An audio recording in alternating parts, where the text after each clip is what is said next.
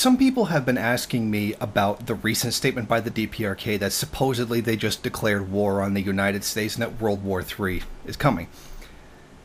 It's not true. The DPRK did say that there was a red line that was crossed, and that being the placing of sanctions against Kim Jong un, which they feel is an insult to their honor. Now, this does not mean that they've just declared war. I would also add the fact that there still is technically a war going on at this moment. But no, really nothing's changed in the day to day relationship between the DPRK and the United States. This is just more of the very flowery, exaggerated language that the DPRK usually likes to use. But generally speaking, there's nothing changed day to day. Now, another thing that people are talking about how there's uh, codes being sent from the DPRK to somewhere else, and that this is a sign of like a terrible impending doom that's coming at any moment. Countries send secret messages to other places all the time.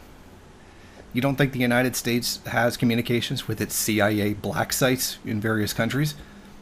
All it says is that the DPRK is in communication with somebody, possibly even their own operatives there's nothing there's nothing extreme going on here. This is more of the uh, hysteria that's being whipped up by the media in order to demonize the DPRK. There's nothing significant going on here, and in fact, all of it is the same day to day stuff that's been going on since the hostile relations between the DPRK and the United States began. Thank you for watching. Want to go ahead, rate, comment, subscribe, and share on various social media. And if you want, you can head over to my Patreon page and show your support. Or you could head over to the MRN bookstore and check out some of the latest books available.